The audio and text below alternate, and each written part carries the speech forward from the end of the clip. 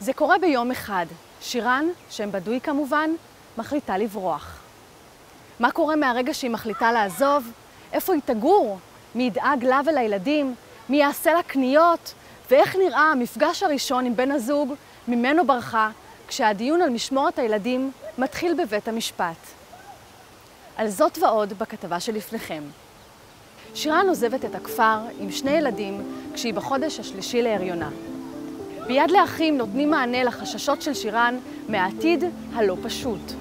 עוד לפני היציאה מהכפר, עובדת סוציאלית מתלווה אליה ונותנת לה כוחות להתמודד מול המציאות החדשה והמשפחה שלא תמיד מקבלת אותה בחזרה. שירן מכניסה את בנה בבריתו של אברהם אבינו עם משפחת יד לאחים. חייב את הילד הזה לאמו ולאמו. יקרא שמו בישראל אושר. והנה לראשונה יש לשירן אתגר משמעותי, דיון בבית המשפט לענייני משפחה על המשמורת של הילדים. כאן היא נאלצת לפגוש את בן זוגה שמלא בשנאה כלפיה. מאבטח מיוחד מטעם יד לאחים מלווה אותה בבית המשפט עד לחזרתה לדירת המסתור. לרוב יש אמוציות בסיטואציות של מפגשים כאלה. היא פוגשת אותו בפעם הראשונה, את הבן זוג לשעבר, שהוא ובני משפחתו נמצאים שם, והמון צעקות, והרבה פעמים ככה מתחממת האווירה, וצריכים להתערב קצת בכל מיני צורות פיזיות, וממש גם לערב גורמי ביטחון שונים שם שבסביבה. היא מגיעה, היא יודעת שיד לאחים איתה, צמודים אליה, והיא לא לבד. היא לא לבד בסיטואציה המאוד מאוד מורכבת הזאת. כשיש ילדים מעורבים ברקע, זה בכלל הופך את הסוגיה להרבה יותר מורכבת.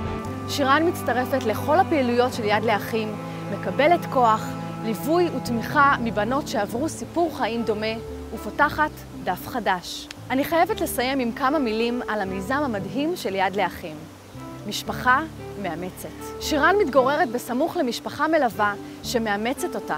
יחד הם מבלים שבתות וחגים ותומכים בה לאורך כל ימות השנה. מעודדים ומלווים מול כל האתגרים שבדרך.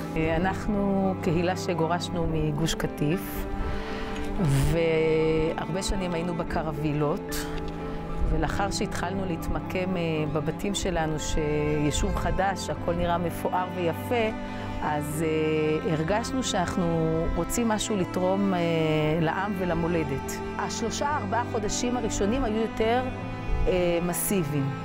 אחר כך לאט לאט אה, היא כבר מצאה עבודה והתחילה לעבוד פה ביישוב במעון. הילדים אחרי שבועיים שלוש נכנסו לבית ספר, צריך להכין את הבית ספר, הבית ספר נתן המון אה, סיוע. מיד לאחים תמיד לא עזב אותנו עד היום שאנחנו כבר אה, כמעט שנה וחצי אחרי כל שאלה, כל עזרה.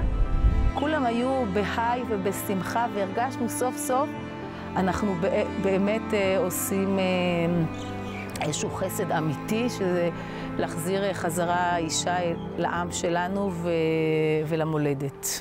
המשפחה הזו הופכת להיות המשפחה החדשה שלה וחלק משמעותי בשיקומה ובחייה החדשים.